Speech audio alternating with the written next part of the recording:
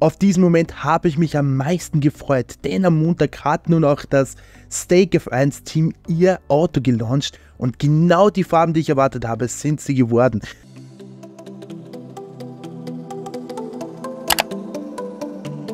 Aber fangen wir mal von ganz vorne an. Ja, ich wurde ein bisschen gehypt, als ich schon eine halbe Stunde vorher die Rennanzüge gesehen habe. Knallgrün, aber auch schwarz. Die Farben, die perfekt passen. Und ja, wir gucken uns mal das Video an, das man gepostet hat. Ähm, das hat uns schon mal ein bisschen darauf hoffen lassen, wie cool das Auto denn werden wird. Und hier 1 Minute 25 und gucken wir mal rein. Ja, so ein Riesentunnel, alles Zukunft natürlich auch wegen Kick. Ähm, Sport, äh, äh, wegen Kick, das ist ja auch ein Streaming-Dienst. Boah, da kommt's raus aus der Erde, aus dem Boden raus. Ich finde das so genial, oder?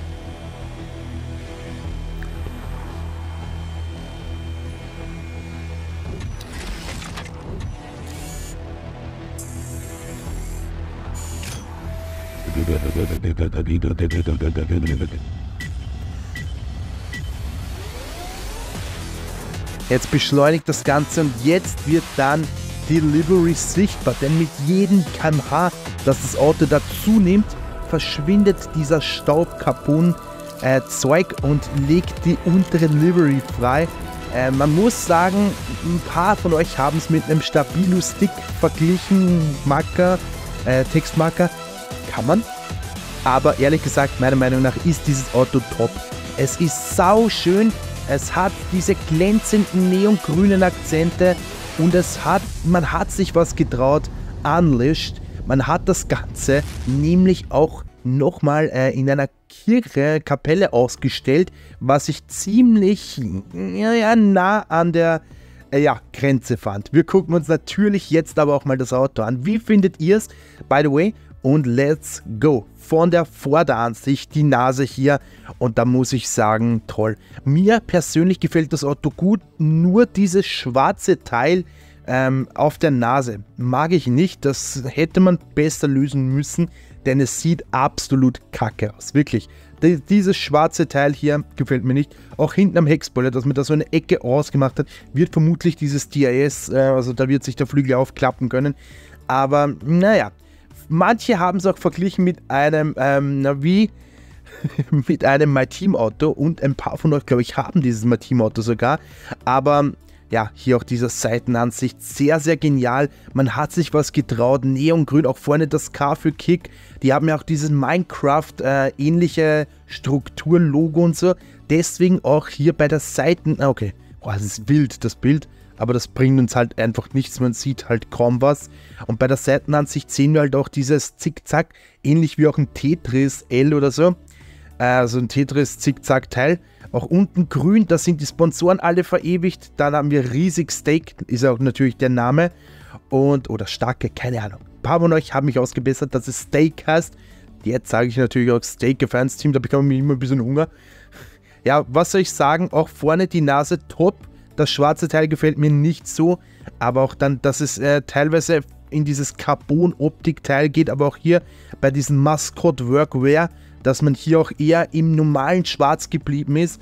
Es ist eine sehr, sehr coole Livery. Von ihnen auch sehr cool. Die Ansicht hatten wir noch kaum bei, bei Leuten. Man hat auch hier kein Williams-Logo, äh, kein Williams mehr.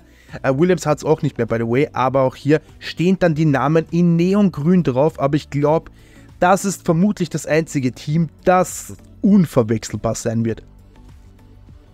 Also da bin ich mir nahezu sicher. Auch Walter Bottas, das sind die Rennernsiege bei Bottas. Dieser absolut abfällige Blick, die Haare blondiert, der Bre. Und ja, Neongrün und ich wusste ab diesem Moment, die Rennanzüge grün, die Namen grün. Ich wusste es. Die Autos werden grün. Ich habe es dann auch direkt auf TikTok gepostet.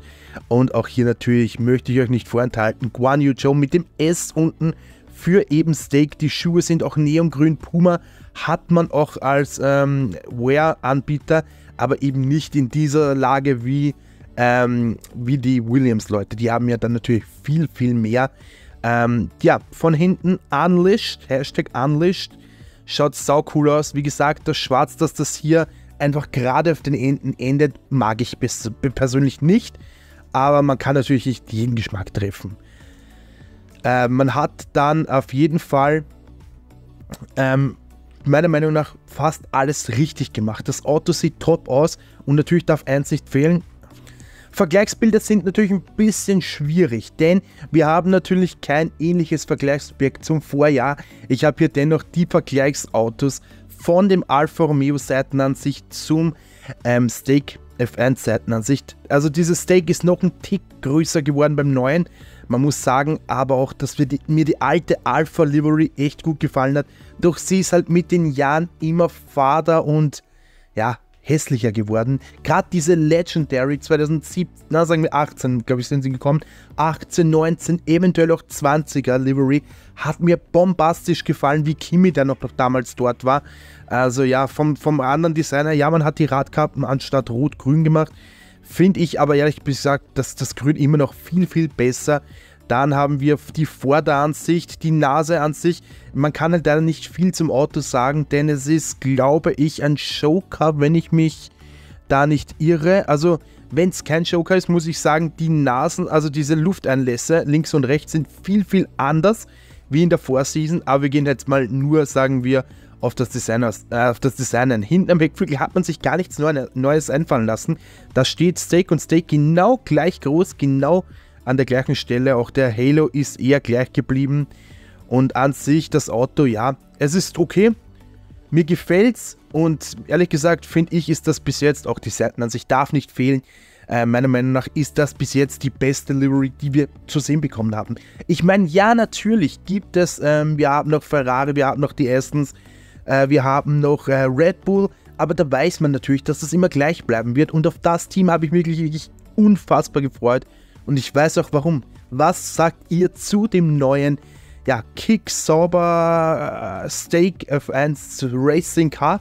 Ich bin sehr gespannt auf eure Meinung. Abonniert gern kostenlos den Channel, lasst gerne ein Däumchen unter. Und ja, für mehr und ja, für mehr und kürzere Infos schaut doch unbedingt gern auf meinem TikTok-Account vorbei. It's unterstrich Tobi. Bis zum nächsten Mal. Danke fürs Zugucken und ciao.